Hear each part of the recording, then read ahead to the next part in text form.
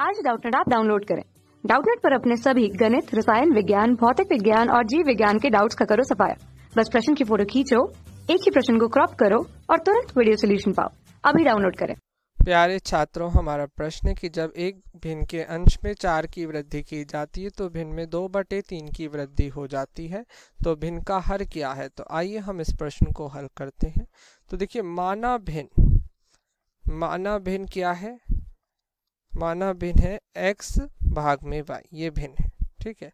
अब प्रश्न में कहा है, भिन्न भिन्न के अंश में चार की वृद्धि की जाती है तो भिन्न के अंश में चार की वृद्धि करने पर भिन्न के अंश में चार की वृद्धि करने पर, चार की वृद्धि करने पर,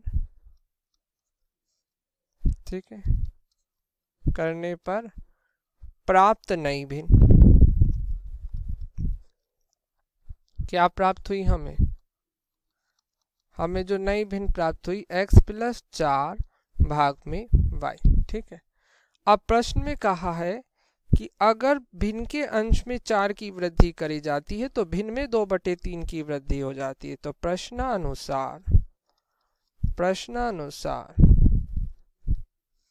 प्रश्नानुसार भिन्न के अंश में चार की वृद्धि करने पर प्राप्त नई भिन्न बराबर है x बटे वाई प्लस दो बटे तीन, क्योंकि प्रश्न में कहा है कि भिन्न में दो बटे तीन की वृद्धि हो जाती है, अर्थात पुरानी भिन्न में अगर दो बटे तीन जोड़ देंगे तो वो बराबर हो जाएगा कि अंश में चार की वृद्धि करने पर प्राप्त नई भिन्न के, ठीक है? तो इस प्रकार हम इसे क्या लिख सकते हैं? x भाग में y, ठीक है? प्लस चार भाग में y, बराबर x भाग में y प्लस दो बटे तीन। ठीक है, या x बटे वाई से x बटे वाई कट गया, ठीक है?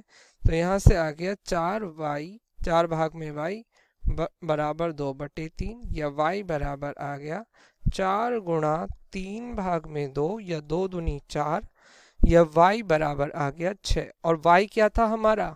वाई क्या था हमारा? हर। तो हर हमारा यहाँ से आ गया छ, ठीक है? और यही आपके इस प्रश्न का उत्तर है। धन्यवाद कक्षा छठी से बारहवीं से लेकर NEET I I T JEE वो एडवांस के लेवल तक। एक करोड़ से ज़्यादा छात्रों का भरोसा।